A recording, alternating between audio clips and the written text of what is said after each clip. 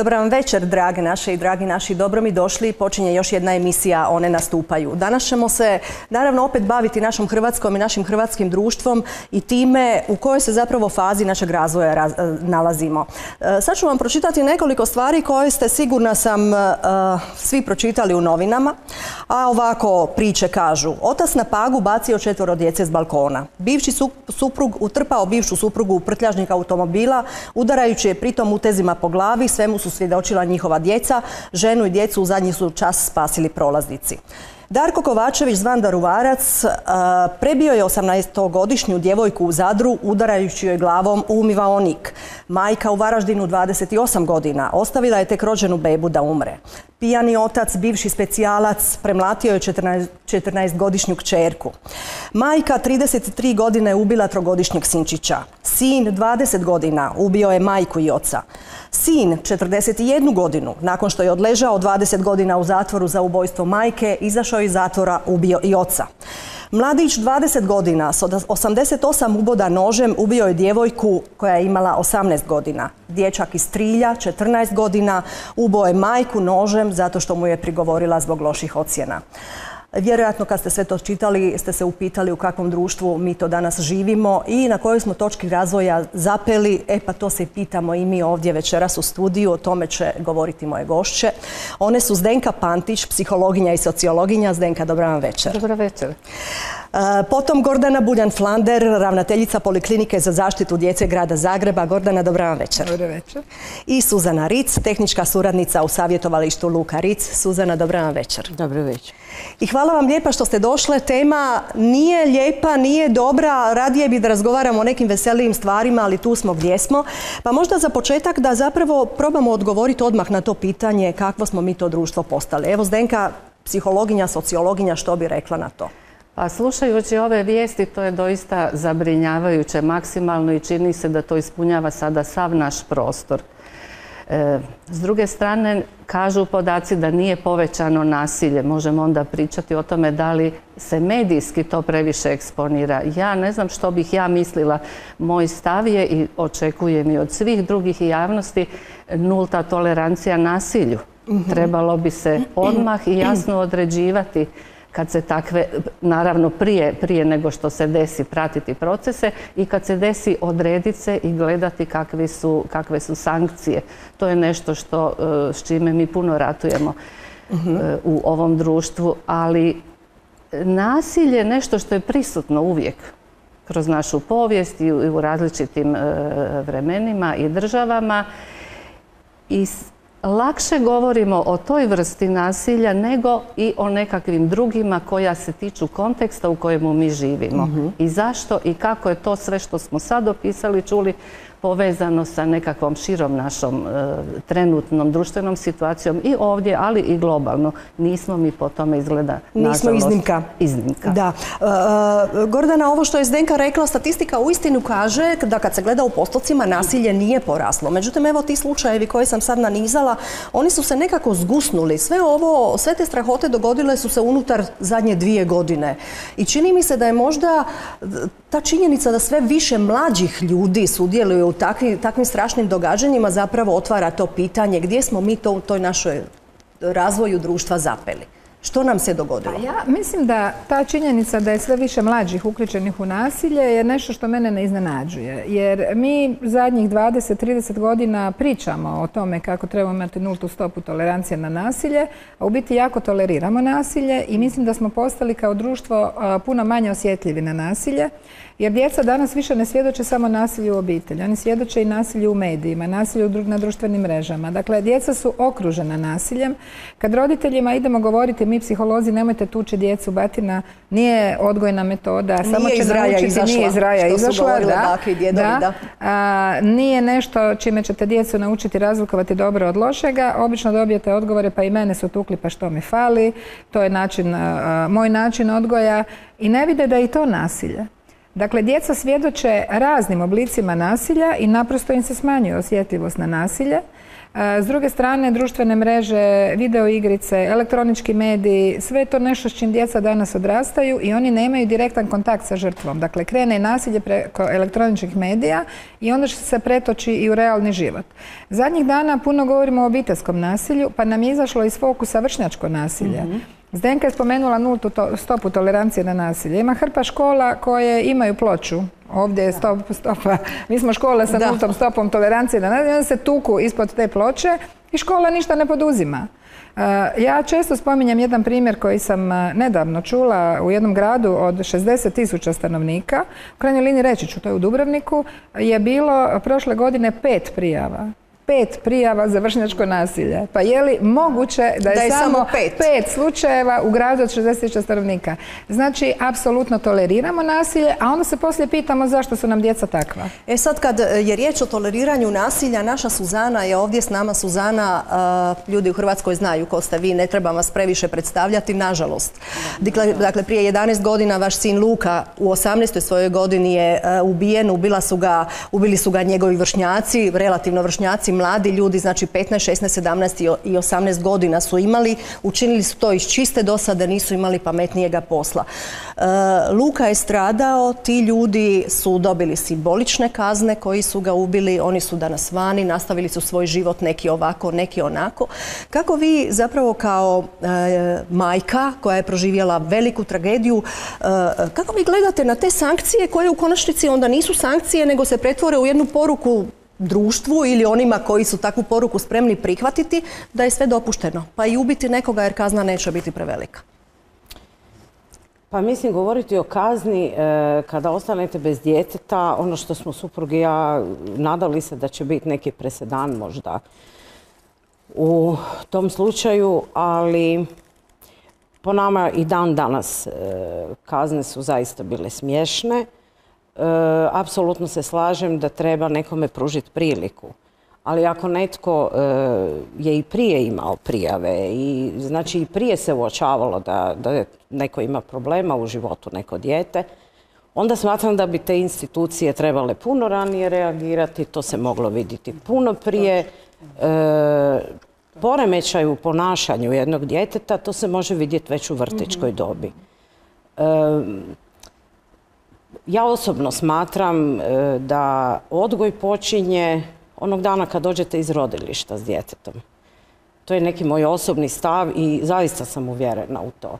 E, kako vi brinete o tom djetetu, kako se ponašate, da li ga ljubite, da li grlite, da li se smijete. Kakve mu vrijednosti zapravo usađujete. Kakva je atmosfera u toj obitelji. E, to je nešto što smo mi imali u svojoj obitelji.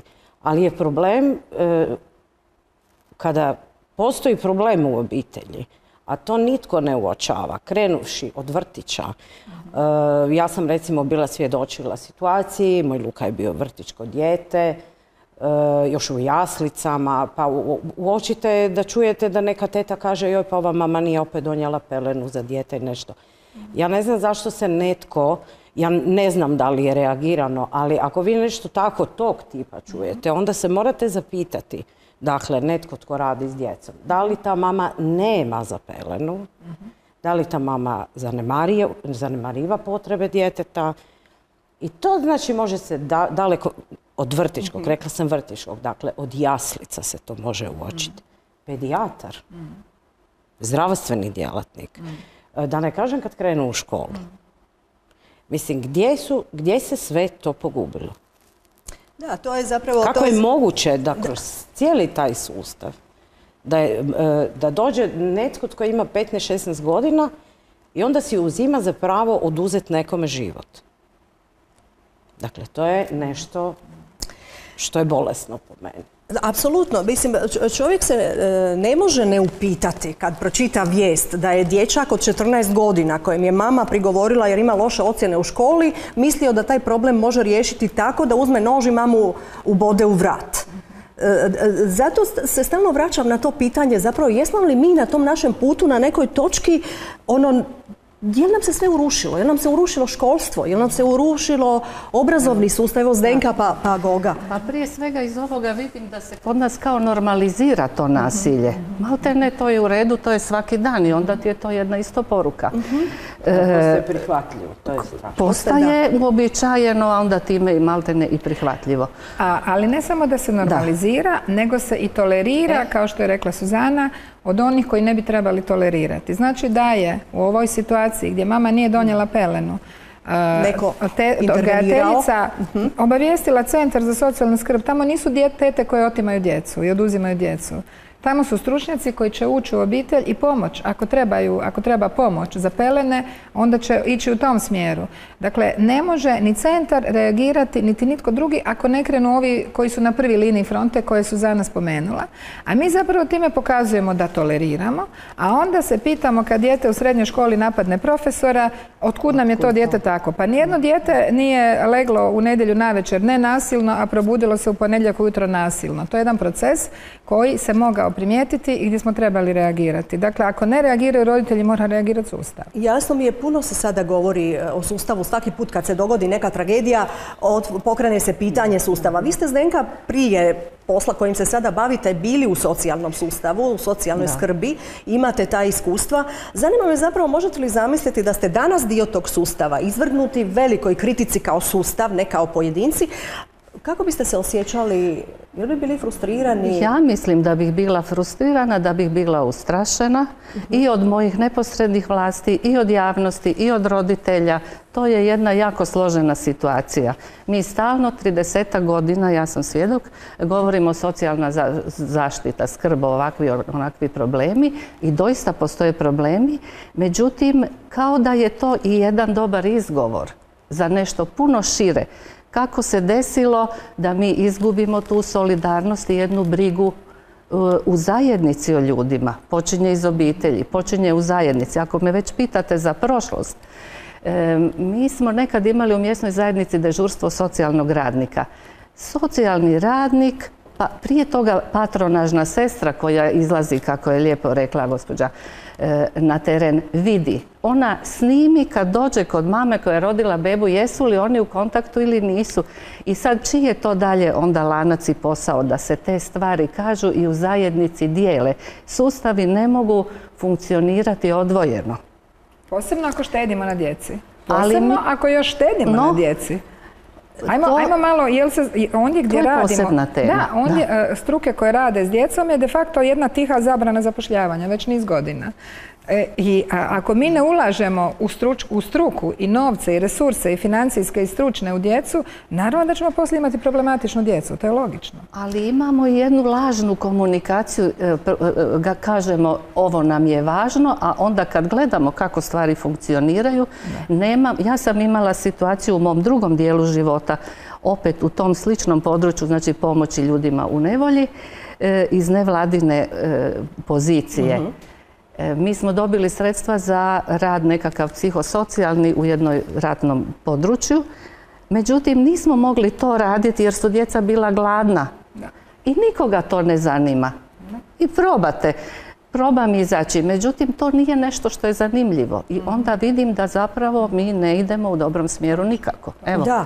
E, Vi ste, Suzana, nakon e, Lukine smrti krenuli zapravo e, se boriti protiv vršnjačkog nasilja i osvješćivati društvo, pridonositi osvješćivanju društva kad je riječ o vršnjačkom nasi- nasilju. Tako je nastalo na koncu i savjetovalište e, Luka Ric. E, Zanima me zapravo tko su ljudi koji se vama obraćaju za pomoć? Čini mi se da vrlo često imamo situaciju da roditelji čak i kad su suočeni sa, sa, sa činjenicom da njihovo dijete nije krenulo dobrim putem i da trebaju nešto učiniti, da često se možda srame potražiti pomoć, e, drže to negdje u sebi, unutar četiri zida.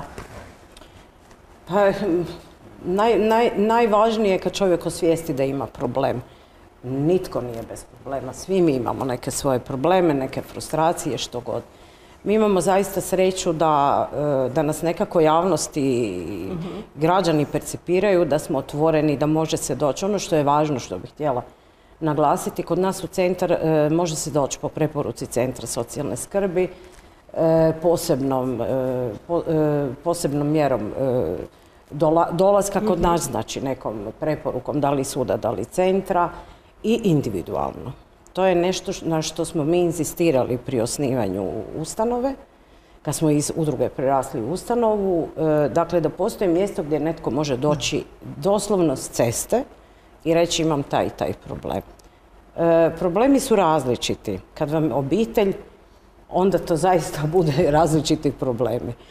E, ono što je važno, važno je nekad roditelj dođe vezano za roditelji, dođu vezano za, za kao problem s djetetom, onda s- e, što je bitno da se roditelji uključe. Nikad to ne treba e, Razdvajati. reći postoji dijete ima problem. Ako dijete ima problem, to je veliki problem i roditelja, isto tako i obrnuto. Tako da mislim da to, ta cijela priča roditelj dijete na toj relaciji, ja mislim da oni moraju imati zajednički te probleme. E, Pretpostavljam da ono, dolaze različiti ljudi kod vas i, i traže pomoć, pa dolaze neka djeca koje bismo mogli opisati kao nasilnu djecu, je li? a dolaze i neka druga koja su žrtve zapravo nasilnika, vršnjaka. E sad kad imate trebate pomoći i nekom koji je nasilan i nekome koji je žrtva nasilja, kako se nosite s time? Ono, A mi imate kao li nek- centar ili- Da, kao centar i kao ljudi na koncu konca.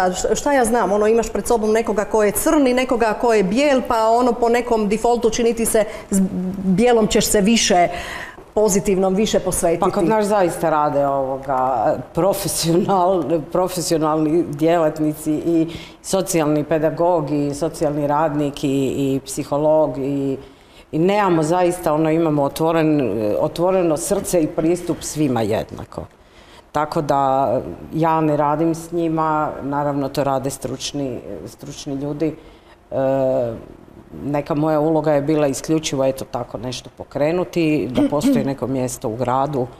Eto, krenuli smo od udruge, prerasli u centar, što smo ono, prezadovoljni kao ustanova grada Zagreba. Jasno, jasno. Pa, e, Goga, ovaj slučaj na Pagu je zapravo strašno uznemirio javnost. Tako nešto nismo do sada imali priliku pročitati u medijima. Stvarno smo svašta, svašta doživjeli da otac uzme svoje četvero djece iz kreveta i baci ih preko balkona. To mora svakoga e, zaprepastiti. I sad se tu postavilo opet pitanje funkcioniranja, funkcioniranja sustava. E sad, e, mi bismo zapravo kao društvo pa onda i sustav koji iz toga proizlazi, trebali štititi one najslabije, to su ta djeca. U, u svugdje u svijetu ima luđaka. Taj otac je možda lud. Možda će sutra završiti na psihijatriji pa će tamo odležati i svoje. Ali kako će ta djeca zapravo živjeti dalje? Kako uopće uh, prema žrtvama postupati da im se osigura da izrastu zdrave osobe? Pa, naravno, ovaj slučaj je užasno potresao javnost. Ja moram reći, s obzirom da se bavim ovom problematikom dugi niz godina, nagledala sam se razne djece, raznih oblika žrtava nasilja. Ono što mogu reći iz iskustva da djeci je najteže kad dožive traumu i životnu ugroženost od osobe koja bi o njima trebala brinuti. Dakle, osoba koja bi trebala biti izvor sigurnosti, ljubavi prihvaćanja, a ta osoba je zapravo izvor smrtnog straha i e, traume koja je njima do- njih dovela do životne ugroženosti. I zato je i teži oporavak i teži, tretman. Ali e, isto tako moja iskustva, klinička iskustva i znanstvena istraživanja pokazuju da se ta djeca mogu oporaviti, da je jako e, važa- važan, e, važna reakcija nezlostavljajućeg roditelja, da je potrebno da imaju blisku figuru uz sebe s kojom će se zajedno raditi i s, i s tom djecom. Naravno, to ukoliko je majka zlostavljajuća zanemarujuća, onda i ne može možda biti majka, nego netko drugi, bliska osoba od te djece i da imaju dugo, dugo, dugotrajnu stručnu pomoć. I E, sad kad je, kad Mhm. je majka neg- negativka, kad ispadne da je majka negativka, pitanje je koliko je naš sustav, koliko su naši e, ljudi koji rade u policiji, u centrima za socijalnu skrb, u e, sudstvu, koliko su oni spremni zapravo sankcionirati majku negativku, koliko su spremni majci uzeti njena majčinska prava, izuzeti dijete i dati ga recimo ocu ili dalje ako ni otac nije, nije, nema kompetencije da bude Ja, dobar roditelj. ja, ja a, vam se zahvaljujem na ovom pitanju upravo da se dotaknemo predrasuda jer a, ljudi često, stručnjaci često donose nalaze, preporuke i mišljenja na osnovi svog svjetonazora. Tako Zdenko? Alenka, na osnovi svojih predrasuda i na osnovi svojih trauma i iskustava iz svog djetinstva.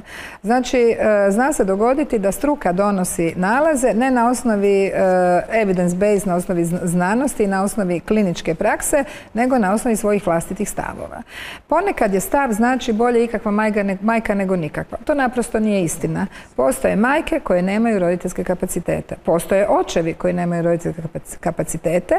Postoje obitelji koje zajedno mama i tata nemaju roditeljske kapacitete. Možda bi tata imao u kombinaciji s drugom mamom ili mama u kombinaciji s drugim tatom. I zato je važno da struka bude educirana, da se u struku ulaže i da znaju to raditi. Jer vrlo često to rade ljudi koji zapravo nemaju ni malo edukacije iz tog područja i onda donose na osnovi svjetonazora.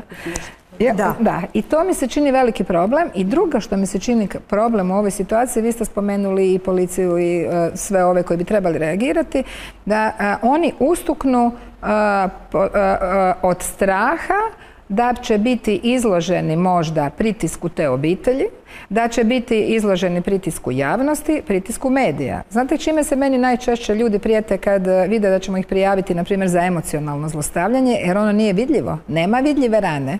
Da, nema modrice. Nema modrice, ali, ali je, na duši, ali je na duši rana i emocionalne rane nose ta djeca u cijeli život kasnije. I kasnije žive s tim ranama, a, I pošto nema emocionalne rane, ona se ne vidi i oni će reći ne, vi to niste dobro vidjeli, oni propitkuju naše nalaze i čime se najčešće prijete? Medijima.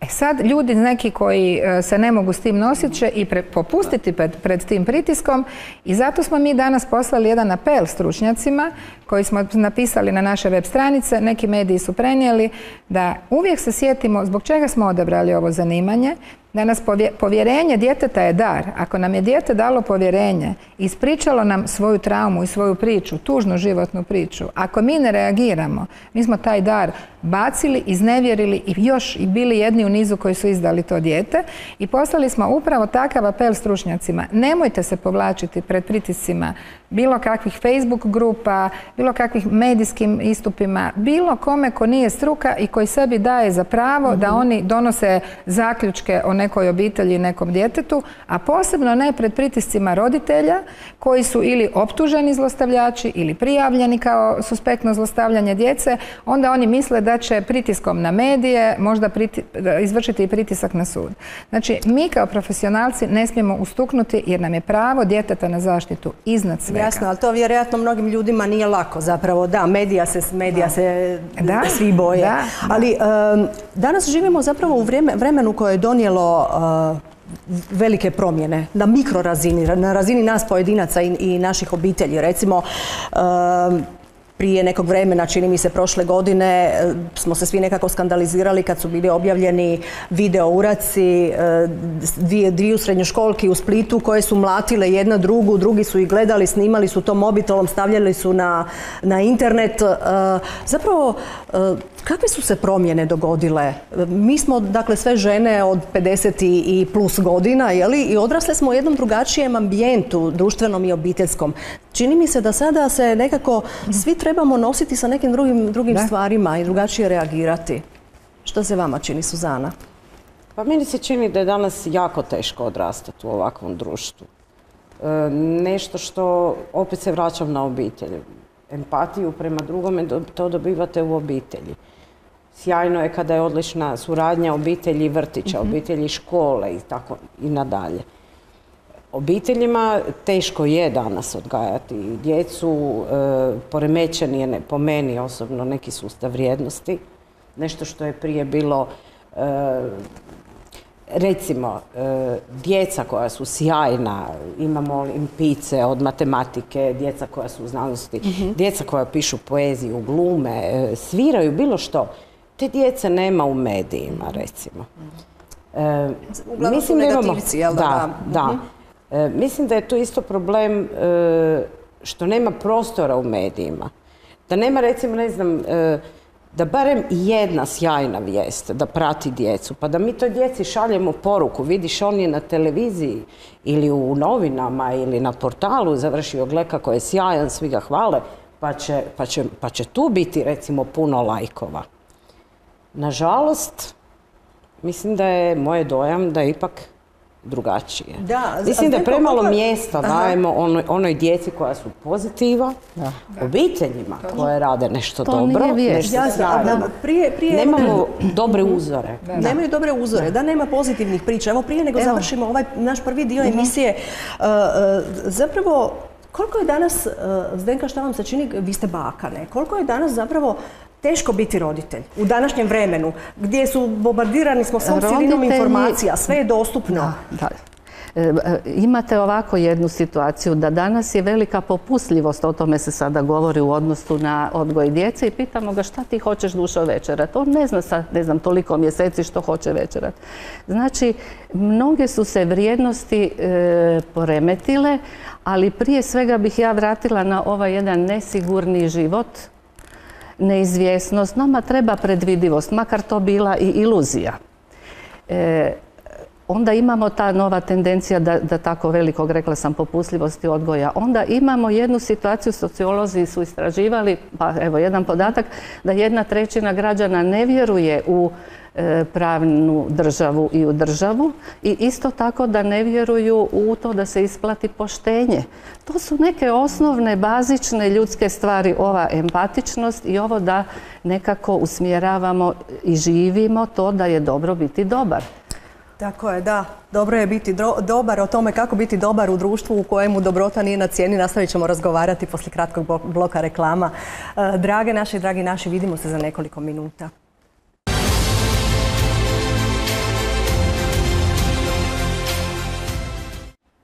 Drage naše i dragi naši, evo kratka stanka je prošla. E, Nastavljamo razgovarati ovdje u studiju o tome kakvo smo društvo postali i dominirali našim društvom nasilje. Moje gošće su Zdenka Pantić, Gordana Buljan-Flander i Suzana Ric. E, Gordana, vaše iskustvo u radu s djecom je golemo. Dakle, ta desetljeća rada sa svim mogućim oblicima zlostavljanja su vas odavno učinili vrhunskim stručnjakom za ta pitanja kod nas u, Hrvatskoj. Um, Zanimljivo je Zapravo, kad promatramo kako funkcionira sustav i koje su tu neke mane, recimo ova priča iz Paga, dakle jedno dijete je tim roditeljima već bilo oduzeto i smješteno je e, na, na drugu lokaciju u dom ili kod udomitelja, a četvero djece, najprije troje, potom se rodilo i četvrto, četvero djece je u toj očito problematičnoj obitelji ostalo. E sad kako je moguće da jedno dijete sustav uzme, a četvero djece ostavi kao da su ti roditelji sad odjednom postali neki drugi brižni ljudi? Mene vam kao sudskog vještaka vrlo često frustriraju upravo takve stvari i e, ja ne bih htjela govoriti o toj obitelji, toj djeci, iako e, se više može, ne možemo praviti da ne govorimo o toj obitelji jer govorimo. Jasno, ali vjerojatno Ali sličnih generalno primjera ima imam na puno, stotine, da, da. imam puno takvih primjera gdje mene kao sudskog vještaka svaki put iznova frustrira situacija. Dobila sam jedno dijete vještačiti obitelj, procijeniti njihove roditeljske kompetencije, a drugo troje djece ili jedno dijete ili dvoje djece ostaje. I onda nakon dvije ili tri godine ili četiri dobijem ovo dijete koje je ostalo, a već je dijete sa teškim emocionalnim ranama, već je dijete zanemareno, već je dijete s teškoćama. Ja zaista ne razumijem kako itko u sustavu može vjerovati da sam dobar roditelj dvoje djece, a nisam dobar roditelj nekom drugom djetetu, ali ne dobar u smislu da zadovoljavam njegove želje, nego da nemam ili imam roditeljske kompetencije i drugo što mi je nejasno, zašto godinama, evo Zdenka je bila u sustavu, zašto godinama mi roditeljima oduzimamo iz godine u godinu pravo na život s djetetom? Dakle, oduzmemo na jednu godinu. Pa onda on nazove tri puta mjesečno, e, pa onda ne možemo izdvojiti dijete, pa onda opet za godinu, pa opet na jednu godinu, pa opet dijete već ima 12-13 godina i onda dođe meni ili nekom vještaku na vještačenje da se dijete izuzme iz obitelji. To dijete već nema šansu da bude usvojeno, odnosno jako malu šansu da bude usvojeno. To dijete već ima teškoće, već ima teškoće. Tako da zaista ne razumijem zašto toliko dugo roditeljima dajemo šansu. Ja mislim da centri rade težak, i često jako dobar posao. Nama su centri prva suradna ustanova s kojima zaista na generalnoj razini dobro surađujemo. S nekima bolje, s nekima lošije. Ali nemojmo se fokusirati samo na centar. Jer da je i ovom centru u Zadru da su stizale stalno prijave od liječnika, od e, odgajatelja, od škole, onda se centar ne bi mogao oglušiti. E, tako je. Tu Onda sad bi dolazimo da. do te šutnje Da. koja zapravo Da. okružuje nasilje.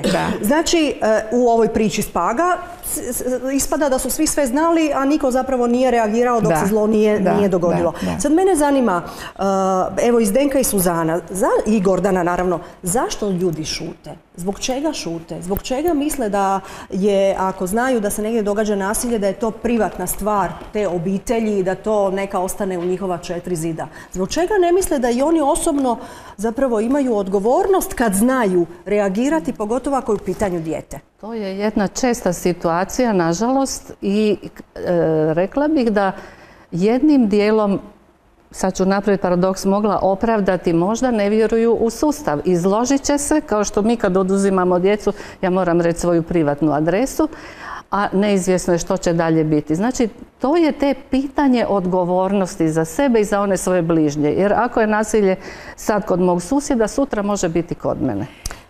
Ako smi... Mi smo, mi smo društvo. Nemojmo se zava- zavaravati. Jedno društvo čine ljudi. Dakle, svaki pojedinac. Meni je neshvatljivo da netko može vidjeti neko nasilje i proći. I da kaže da se to njega ne tiče. Ja nikoga ne optužujem za to, nikome ne zamjeram, ali je meni to, meni to neshvatljivo. Jednog dana se vi možete naći u toj situaciji, možete se naći na podu iz bilo kojeg razloga. E, To meni e, nije bilo jasno i sa Lukom dok sam pričala, dok je bio u bolnici, e, zar nitko nije bio na cesti? Da, bili su na cesti. Ali niko nije reagirao. Ne. Pustili su da ga tuku. To je nešto, to je nešto što je meni neshvatljivo. Ja mislim da e, svaki čovjek, svaki pojedinac mora imati neku savjest. E sad, da, i ja isto. A što se dogodilo? Svi smo mi odgovorni, nemojmo se zavaravati. Apsolutno, svi kao pojedinci smo odgovorni za sve što se u društvu događa.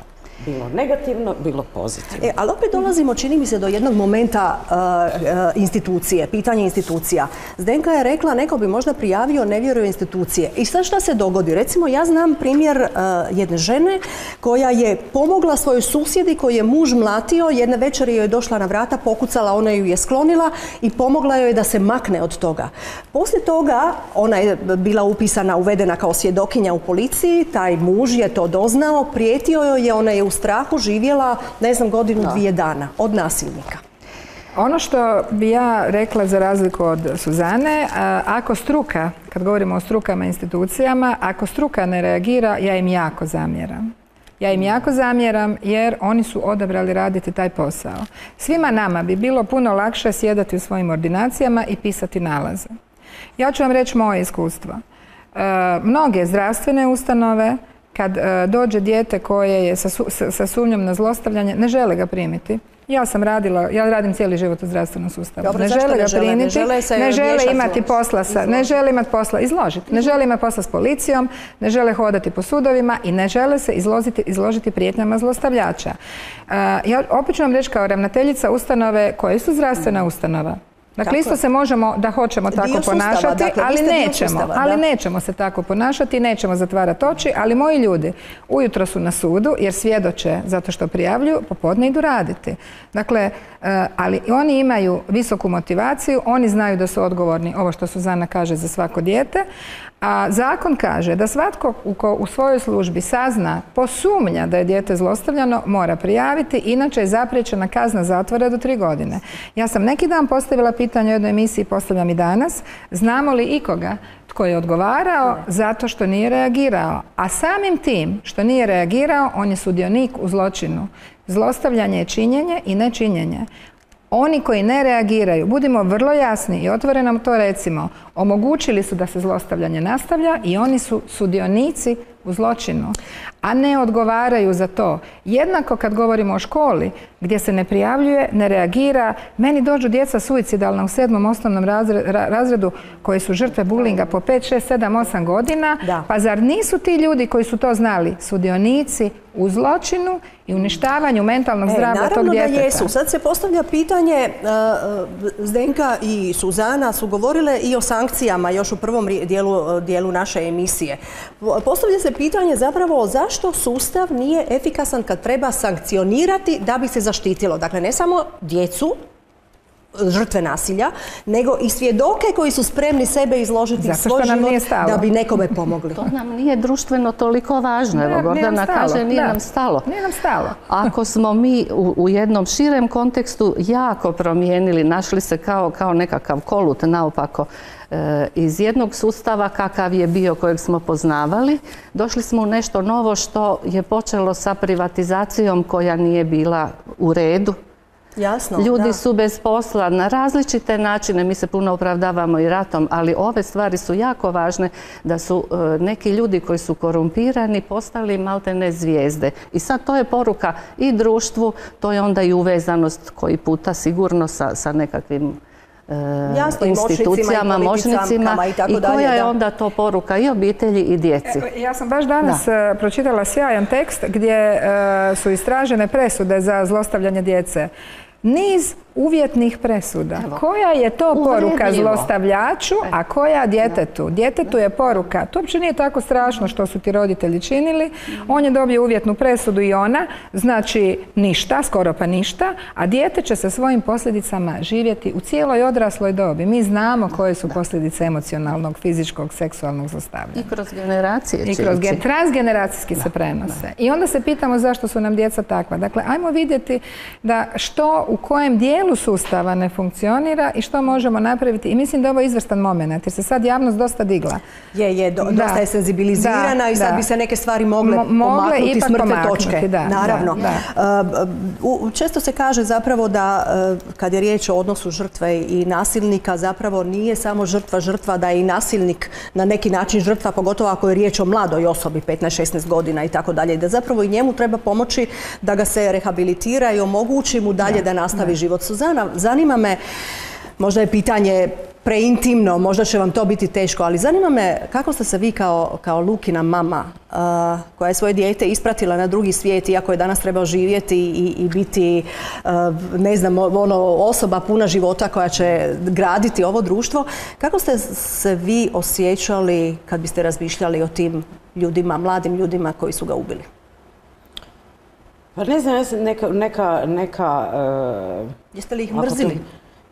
Jeste ne, li- ne, ne. Ja, ja to ne mogu reći. Ja, niti suprug, ni ja, e, jednostavno, ne znam e, na koji način. Ja nekako vjerujem da je to Luka upleo neke svoje prste iz ne znam koje dimenzije. Ali nekako kao da sam napravila blokadu. Nemam nikakve, zaista nikakav... e, Negativne emocije, Ne, je li? e, mi smo to nekako doživjeli kao jednu strašnu elementarnu nepogodu njih kao, mislim, ja moram biti iskrena, ali ja ih ne doživljavam kao uopće osobe. Eto, ne, ne mogu drugačije, ali Ali malo prije, nekakva malo prije ste blokada, rekli. ne, nešto da. se dogodi, ja ne znam, zaista nisam, to bi možda liječnici bolje da. objasnili, ali jednostavno ne možete to per- percipirati. Mislim, ja ni dan danas ne mogu uopće niti pomiriti se s tim da, da Luka neće doći doma. Ja još uvijek znam gledat Je na prozor, staviti li tri ikada tanjura na iko, je li stol, ali- ikada iko Suzana od tih mladića, sad su to već ljudi ili, ili iz njihovih obitelji pokušao s vama uspostaviti kontakt Ne. i reći da mu je žao? Ne, Evo vidite, ne. Da. Vrlo je teško raditi s počiniteljima. Oni puno puta moraju imati pritisak vanjski da dođu. Neće sami doći. E, isto tako u nekim tako teškim situacijama jako je važno da neko dođe tražiti oproštaj, ispriku i kazati nešto. To je donekle donekle ljekovito. A moje iskustvo s djecom počiniteljima kao grupom nasilja nad drugom djecom E, bila sam u situaciji da jedna škola sačekuje i tuče drugu školu. Jeli? I ništa, nije to nepoznata stvar i to traje godinama. Ja sam mislila, Bože dragi, što ću sad ja raditi? Imam neka mala način, sredstva, prosvjetne vlasti, ovakve, onakve. Niko to neće adresirati. Mi smo se odlučili u mojoj udruzi koju sam vodila ići ka djeci iz grupe počinitelja, da tako kažem. To su djeca s kojom je moguće uspostaviti kontakt, s kojom bi bilo prevažno pokazati im da je nekome stalo. Znači, jedna je stvar jasnoća o tome što se ne smije činiti. Ne smije se druge ljude zlostavljati i tući i oduzimati život, ali evo zgodno je bilo moje to malo jedno iskustvo da je kroz kulturu, kroz osobu, to je bio Kovač, naš, naš redatelj, koji je dakle približavajući se jednoj grupi adolescenata koji nisu dobili puno u životu. Ja neću reći da svi, da to važi za sve zlostavljače, jer niti bih htjela sad ja ovu djecu tako na brzinu. Jasno, znači. da. Ali kroz toga da si ti njemu važan i da se njih nečemu može privući, zainteresirati za kulturu je bilo nekih pomaka. Jel? To je jedna grupa, to su mladi, to su djeca. Druga stvar su ovi odrasli počinitelji, nasilnici ili ljudi s određenim dijagnozama, to je opet jedan drugačiji. Jasno, ma pitala sam zapravo Suzanu ovo da li je neko poku- pokušao stupiti s vama u kontakt i reći da mu je žao, zato što mislim da je jedna, jedno izražavanje žaljenja zapravo uh, niko ne može luku vratiti. Stvari se ne mogu, ne mogu vratiti na početak, što se dogodilo, dogodilo se. Ali može biti možda ljekovito na neki način čak i za širu zajednicu. Ne samo za te konkretne ljude ili za vas i vašega supruga nego možda i za širu zajednicu, da neko shvati da je pogriješio. A ovako imaš osjećaj kad niko ni ne kaže da mu je žao, da mu je tako svejedno što je napravio. Pa to je stvar da li netko ima potrebu za nešto, ne znam. Ja kad sam u životu znala pogriješiti, ja sam došla Luki i rekla oprosti, meni je žao. Da. Ako sam ja nešto krivo procijenila, napravila, mislim, to je sve nekako možda osobna stvar, ali ja ne znam što bi ni suprug ni ja, znali su nas prije već neki novinari pitat da li su, da li je netko došao, pokušao ili poslati pismo ili bilo što, ne. Ali da budem iskrena, e, možda bi to njima bilo olakšavajuće. Ja ne znam Složila što bi se to s nama time. donijelo. Onaj ko bi- može preuzeti odgovornost za svoja dijela, Da. može se, onda ima šanse i da postane drugačiji radi na čovjek, sebi, da radi na sebi, da ide da. dalje. jel? Da, tako da... Da, ne znate je- ni kako biste reagirali da, da ste Ne, dobili ne, tako pismo. mislim, da. Ne znam, je. ne znam, moram priznati da ne znam. Možda, ne znam, da netko od e, njih pet da dođe Hmm. danas sutra za, ne znam, deset godina, sad je to već prošlo, 11. godina ide.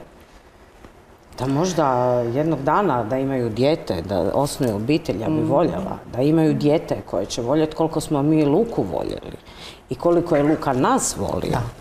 E, kad bi shvatio tu količinu ljubavi i da dođe reći, da pokuca na vrata i da kaže oprosti, Evo, ovo je moje to je dijete, nešto drugo. došao sam. Da. Ali mislim da ne znam da li bi to bilo iskreno u tim trenucima nakon toga. Tako da Jasno. Samo iskrenost bi pomogla, Da. ništa Jasno, drugo ali ne sad treba. kad smo zapravo kod e, rehabilitacije nasilnika, velim pogotovo kad je riječ o mladim ljudima, na stare ove neću ni, ni- niti se spominjati, oni se više promijeniti ne mogu, ali kad je riječ o mladim ljudima, koliko se zapravo e, uspijeva u tome? Pa ono što e, smo i dotaknuli u ovoj emisiji je da djeca koja žive u nasilnoj atmosferi i koja doživljavaju nasilje u obitelji ili nasilje prema sebi imaju četiri do šest puta veći rizik da i sami budu nasilni u adolescentnoj dobi. A, I uvijek se zalažem za to, kao što je Suzana rekla, da s njima isto treba raditi, jer dok su oni djeca, ipak su samo djeca i cilj je da od maloljetnih počinitelja kaznenih djela ne postanu punoljetni počinitelji kaznenih djela i rehabilitacija daje dobre rezultate, ali trebaš imati roditelje koji će reći, ok, moje dijete ima problem, idemo riješiti taj problem. Trebate imati nastavnika koji će reagirati i već u prvom, drugom osnovne ne čekati da ima 17-18 ili da osnovna škola čeka da se riješi djeteta iz osnovne škole pa smo ga se mi riješili. Dakle, trebamo imati, ako ne prepoznaju roditelji, trebamo imati pedijatra, školsku medicinu, obiteljskog liječnika koji će poslati centru za socijalni rad nalaz s ovim djetetom se nešto čudno događa, ovako mi se ponaša ili ne ponaša. Trebamo imati, opet krećemo dakle na one koji su na prvoj liniji fronte, jer ako neće obitelj, onda je, ja kad kažem sustav, nikako ne volim reći sustav.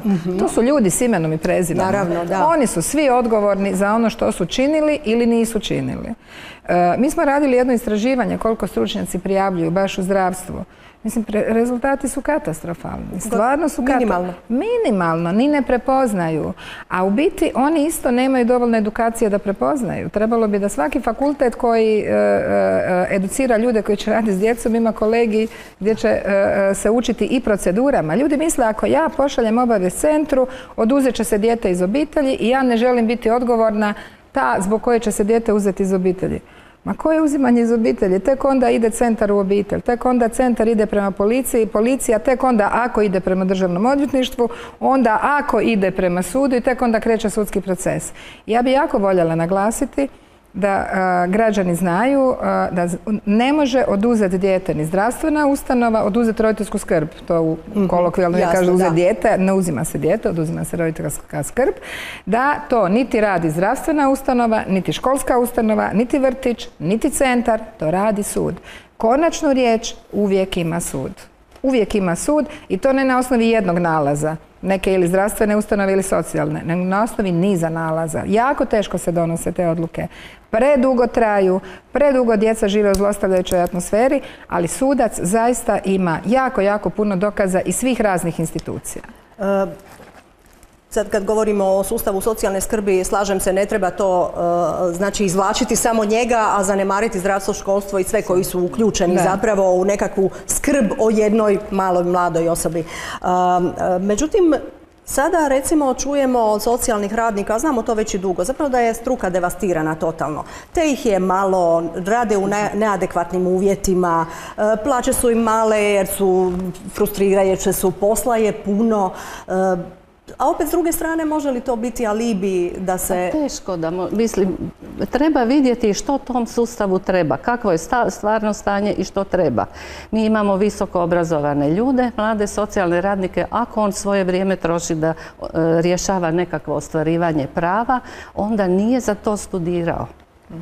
To je, to je šteta. Da, jer zapravo e, ispada da se puno papirologije radi, a da se na teren ide premalo. E, onda kakva je filozofija tretmana ne možemo mijenjati svaki čas e, organizacije, reorganizacija, da ne znamo što, zašto, kako sustavno činimo ili kopirati tuđe stvari, pa se onda promijeni ili vrijeme ili vlast ili nešto, pa opet.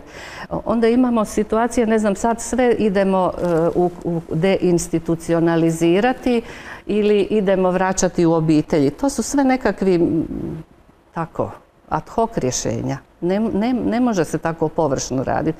I sad ja ipak ne mogu odoljeti, a da ne kažem neku staru, malo zaboravljenu i bolju praksu. E, važno bi bilo kod socijalnih službi da su i određena stalnost ljudi koji brinu o nekoj obitelji, o nekoj djeci. I ja sam razumijevala ulogu centra za socijalnu skrb ili kao mama i tata djetetu kad pođe na taj put, a roditelji nisu adekvatni. Znači on mora ići za njima, mora ići, imati moć socijalni radnik i služba sredstva da obilazi dijete, da pokuša raditi s roditeljima, da kontaktira polikliniku. Ako je izmješteno dijete dok sudski procesi traju, da onda posjećuje dijete u obitelji hranitelja, u domu, u SOSL-u ali to ljudi nemaju priliku i da dijete zna i roditelji, ipak to je neka ova spona, kakav takav kontinuitet. Jasno. E, evo imamo tri minute do kraja. E, voljela bih zapravo, mislim da se nekad i veliki problemi mogu zapravo početi rješavati nekim malim koracima. Mislim, Suzana, nakon vaše tragedije koju ste doživjeli, zapravo pokretanje centra Lukaric, pa i to što je država, odnosno ministarstvo, ustrojilo i nagradu koja promiče ideju nenasilja e, Lukaric, da su to sve ti neki mali pozitivni koraci koji možda mogu pridonijeti da se, ne znam, milimetar po milimetar, ako ne ide u centimetrima, problem počne rješavati ili barem da se društvo senzibilizira. Niste baš uvjereni pa nikad veliki. Pa jesam. Obično se kaže ono strpljen i spašen. E, nikakve promjene se ne događaju velikim koracima, to kroz povijest što god pogledate. Mislim da je nekako i sigurnije i pametnije ići taj e, milimetar po milimetar, možda i pola milimetra, ali da ide e, u dobrom smjeru, od povezivanja svih mogućih institucija. Ja bih samo se vratila na ovo i unatoč tim problemima, recimo konkretno i centrima, mi isto s centrima socijalne skrbi surađujemo I unatoč sve, svim problemima koji postoje, postoje zaista divni ljudi koji i u tim Daju od uvjetima sebe. Daju rade sjajan Je. posao. Tako da ne bi ispalo da, da je nego isto kao što postoje sjajne tete u vrtićima i učiteljice u školama i profesori u školama ima. Ja nekako vjerujem da ipak. Dakle, ja bih se založila da ne bude kriv sustav socijalne zaštite, jer mi se čini da je s druge strane, kako god bilo u realnosti, nerealno očekivati da će socijalna služba spasiti nešto što je u puno jednom složenijem kontekstu nastalo. Jasno. I evo za kraj, e, Gordana, u zadnjoj smo, zadnjoj smo minuti, zapravo što bi možda bilo e, važno istaknuti kao nešto što bismo kao društvo, kao pojedinci e, trebali raditi ili, ili kako bismo trebali razmišljati, razmišljati da društvo nekako guramo naprijed. Pa eh, evo s aspekta eh, eh, psihologa ko- ko- koja se bavim djecom i obiteljima cijeli život, čini mi se da jako puno nedostaje edukacija, jer nam edukacija mijenja i stavove. Znanje nam mijenja stavove.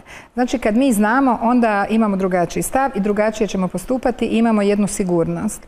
Ja zato jako inzistiram na edukaciji mojih ljudi u poliklinici i mislim da nešto što sad možemo jako brzo napraviti, uvesti edukacije za sve sustave, za sve i to zajedničke, multidisciplinarne, intersektorske edukacije, pa da ja vidim iz zdravstva što mogu dobiti od državnog odvjetništva, što državno odvjetništvo od mene, a ne da se ja molim i molim da me netko uopće primi na razgovor kao da je to moja privatna Jasno. individualna I stvar. inzistirati na preuzimanju odgovornosti. Apsolutno Mislim da je to svatko da preuzme svoju odgovornost. Da. Onda je to i podrška jednih drugima, I podrška što je jedni isto drugima važno. i onda će struka odlučivati o djeci, a ne nestruka. Hvala vam lijepa. Hvala vam. Hvala vam Hvala lijepa. puno. Naše vrijeme je isteklo. E, Problem je stvarno više slojan i sigurno ćemo ga nažalost još dugo godina rasplitati pa će sigurno biti prilika da se još sretnemo na ovu temu. Poštovani gledatelji i gledateljice, hvala vam lijepa na pozornosti. Do sljedećeg tjedna. Laka vam noć.